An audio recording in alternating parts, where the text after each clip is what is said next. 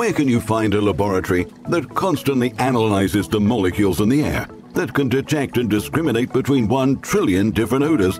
We all have one.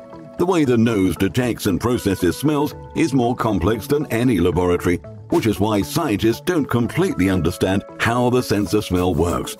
Sense of smell for humans was once thought to be inferior to other animals like snakes, insects, rodents, and dogs, who can decipher information from smell, such as whether the animal they smell is the same species, male or female, or even to specifically identify who that individual is based on their scent. When dogs go for a walk, they sniff around to get the news. Humans, on the other hand, have no interest in knowing who left urine behind on the grass, but that doesn't mean our sense of smell is inferior. The myth that human sense of smell is inferior originated in the 19th century when comparative anatomy studies focused on the ratio of brain volume dedicated to smell compared with total brain volume. The act of smelling is called olfaction. The olfactory bulb is the part of the brain that receives information about what smells the nose detects. The proportion of the brain taken up by the olfactory bulb is much smaller for humans than other animals, and humans who also appeared to be less influenced by smell than other animals. In place of their proportionality, smaller olfactory bulb humans were found to have a larger frontal lobe, responsible for speech and higher intelligence. It was therefore theorized that humans had sacrificed this more primitive part of the brain in exchange for expansion of higher reasoning centers and rational thought. For humans, having a bad sense of smell was more a badge of distinction from other mammals rather than a shortcoming. However, none of this was based on actual experiments testing human sense of smell.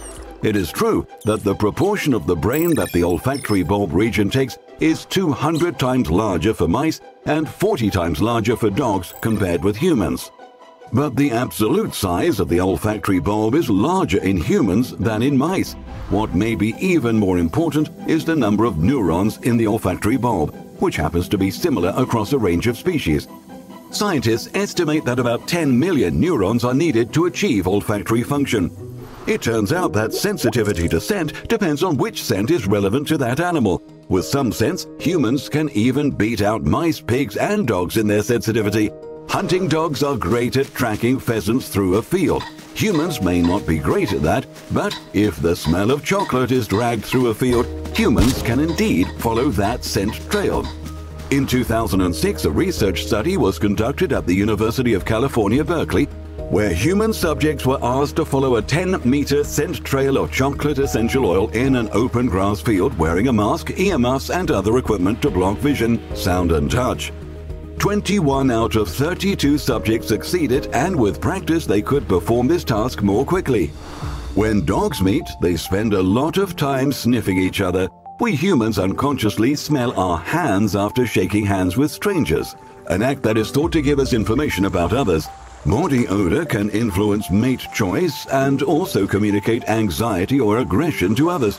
By sniffing sweat, people can distinguish between different genetic variants in a group of genes that contribute to body scent and are a part of the immune system. In a famous t-shirt smelling experiment, women sniffed shirts worn by different men and preferred the scent of those that came from men that were genetically dissimilar to them in this group of genes. Mice also show this preference when selecting mates, and it's believed that this situation produces more successful offspring by optimizing their immune system or as a way to avoid inbreeding. Mothers and babies also recognize each other by scent. Scent attracts newborn babies to suckle milk. New moms can distinguish their babies from others by smell as well. Humans may even be able to remember a person by scent and identify a criminal in a police lineup. Researchers tested this by having volunteers watch a video of a man assaulting a woman while sniffing a scent they were told was of the suspect. The volunteers could recognize that scent amongst five odor samples later. Smelling the body odor of others who are stressed out can make us feel on guard. People will twist up their face if they smell the odor of someone who watched something disgusting, even though they didn't watch it themselves. Here is an example of smelling fear. People who jumped out of a parachute the first time had their sweat collected and smelled by research subjects having their brain viewed by fMRI, a type of brain imaging. Amazingly, the research subjects' brains lit up in the left amygdala where fear is processed.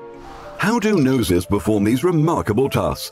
At the top of the inside of the nose is a tissue specialized for sensing smells called the olfactory epithelium. This tissue contains hundreds of nerve cells called olfactory neurons that recognize particular odor molecules. Other cells in the olfactory epithelium tissue provide support and structure. The nose and brain are separated, but there are holes through which wire-like nerve projections communicate smells from the nose to the brain. Information about smells received by olfactory neurons are sent through nerves to the olfactory bulb region of the brain above. If you were to zoom in on the olfactory epithelium up on the roof of the cavity inside the nose, you would see that the chemical detector portions of the olfactory neurons contain little antenna-like structures. These structures are called olfactory cilia, and the cilia are covered with olfactory receptors. Olfactory receptors are physical barriers between the brain and the outside environment and transfer information to the brain from the environment.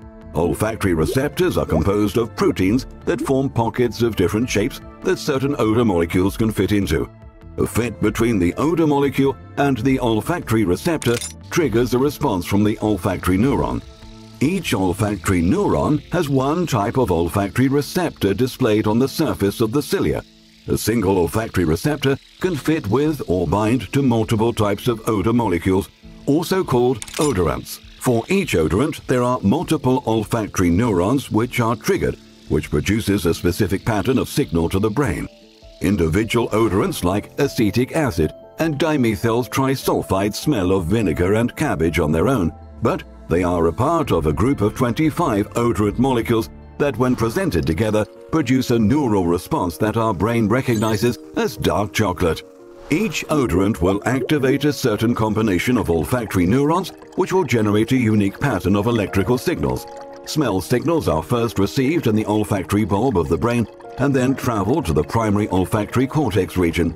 From here, they are redirected to other areas of the brain where odors can be perceived consciously and also to areas of the brain responsible for emotions, memory storage, behavior, and sensations. Because of this wiring, certain smells can bring forth strong memories and emotions.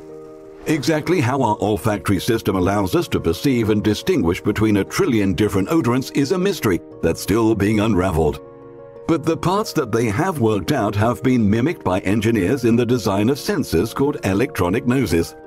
Electronic nose sensors have applications in monitoring the environment for pollution, diagnosing disease, and detecting microbes in food that could make us sick. Speaking of being sick, when we have a cold with a stuffy nose, food doesn't seem to have much taste. Olfactory receptors are important for both smell and taste. When we eat, there are two pathways for smells to reach our olfactory receptors. Some of the smell goes right up our nostrils. During chewing, odorants can also travel to the inside of the nose from the back of the throat. This mouth smelling is how we perceive the flavor of mint, strawberry, or vanilla, as there are no taste buds for these. Sense of smell declines as we age too, and this can cause a loss of enjoyment in eating and in some cases malnutrition in elderly people. We tend to undervalue our sense of smell, but when it malfunctions there are lots of dangers that we may not be alerted to, such as the smell of smoke, gas leaks, spoiled food, or spillage of chemicals. Even when our sense of smell is functioning normally, we may perceive the smell or taste from a particular odor molecule differently from someone else. This is because small differences in the genetic code of olfactory receptor genes affect how well olfactory receptors bind to odor molecules.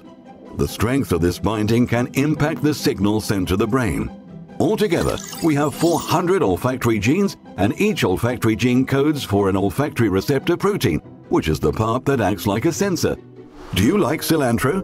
The difference in the genetic code for an olfactory receptor causes some people to describe cilantro as unpleasant and soapy. If certain olfactory receptors are exposed to the same odor over and over again, we become temporarily desensitized to the smell. This is how we can become nose blind to bad smells in the house, such as a stinky dog or smelly shoes. It's as if the olfactory receptors that are sensitive to these odors need a break. The receptors move inside the cell so they're no longer on the surface. Great for you, but not so much for your friend who just popped over for a visit.